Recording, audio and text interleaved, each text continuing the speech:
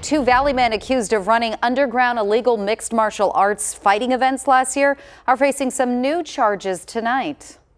This is the future of martial arts.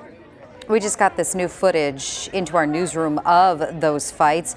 Roland Sarria and Todd Whitmoyer were already charged for holding unsanctioned events in Phoenix and Glendale last September, and now they're accused of holding another illegal event this past February at Maya New York Pizza Bar in Mesa. Like the other cases, the county attorney says the two didn't even have a license for the fight and did not have a doctor standing by in case something went uh, down.